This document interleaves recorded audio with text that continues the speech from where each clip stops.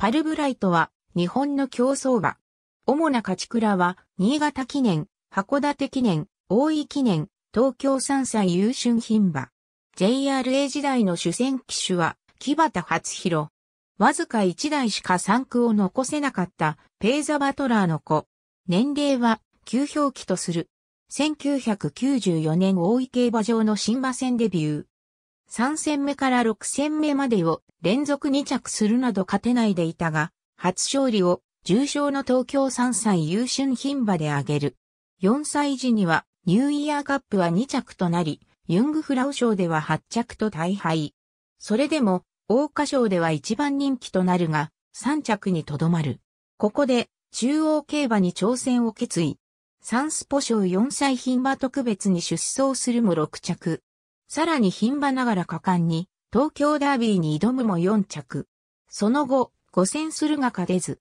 天気は5歳になってから。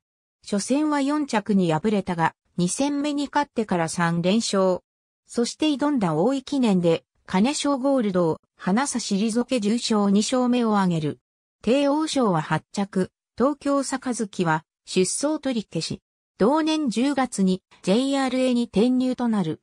転入後5戦目の巴賞を最低人気ながら制し、中央初勝利を記録。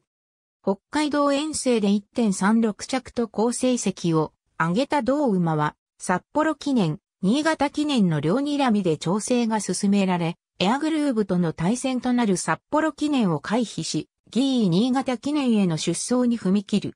これが功を奏し新潟記念を優勝。同馬と小畑騎手さらに杉浦博明調教師ともども JRA 重賞初勝利と記録ずくめの一勝となった。秋はエリザベス女王杯を視野に入れ、京都大賞典に出走。なお、小畑騎手はデビュー14年目にして初の京都での騎乗となった。しかし結果は前哨戦、本番ともに着外に終わり、結果を出すには至らなかった。1998年に入ってからも勝ち運から見放されていたが、ここでダメなら引退も、との構えで臨んだ函館記念を制し中央競馬での二つ目の重賞を獲得。これにより引退は一旦白紙となり現役続行となるが、その後勝ち倉を上げることはなく、同年12月に引退となった。引退後は、当初、早田牧場にカップ市場につなぎ用されていたが、早田牧場の倒産により、2003年からは西山牧場へ、その西山牧場もダーレイジャパンに売却されたことから2009年、現在は大英牧場にて、つなぎをされている。これまでのところ、中央競馬で4勝を挙げているサインオブゴッドが代表3区。